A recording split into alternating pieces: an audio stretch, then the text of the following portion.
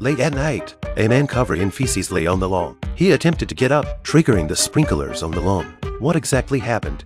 The man tied up the mischievous dog. The dog continued to bark, keeping the man from falling asleep. He thought the dog needed to relieve itself. Without keys, he improvised with a newspaper to prop the door open. He took the dog out to the grassy area. The exhausted man fell asleep standing up, seizing the opportunity.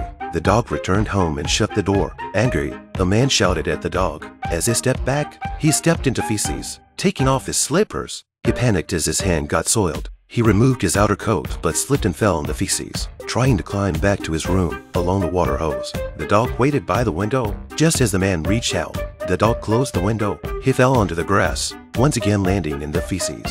He was truly in a pitiful state.